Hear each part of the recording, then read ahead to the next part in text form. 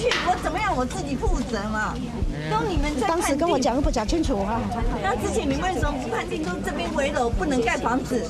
基本上围楼，照法律来讲是不能让你。哎，你讲的啦，我那来店面啊，拢在来店不完啊。我？我钱甚至赚，安尼也晒。争吵了一天，心急如焚的住户终于可以回到倒塌的家里，拿取保暖衣物还有贵重物品。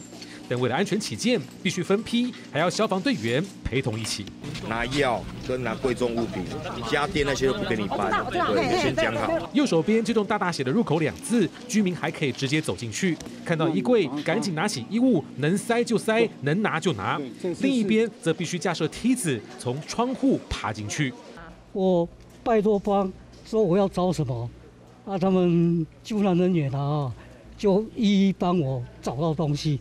有时候很感谢他们，衣服跟财产的，贵重都有拿到就对了。对对对，大部分受灾居民最担心的就是贵重物品以及重要证件，能顺利找到的全都搬了出来，而这一头要找的则是受困两天的猫咪。现在这个猫是有是有伤势吗？不知道。还在这，往后往后往后。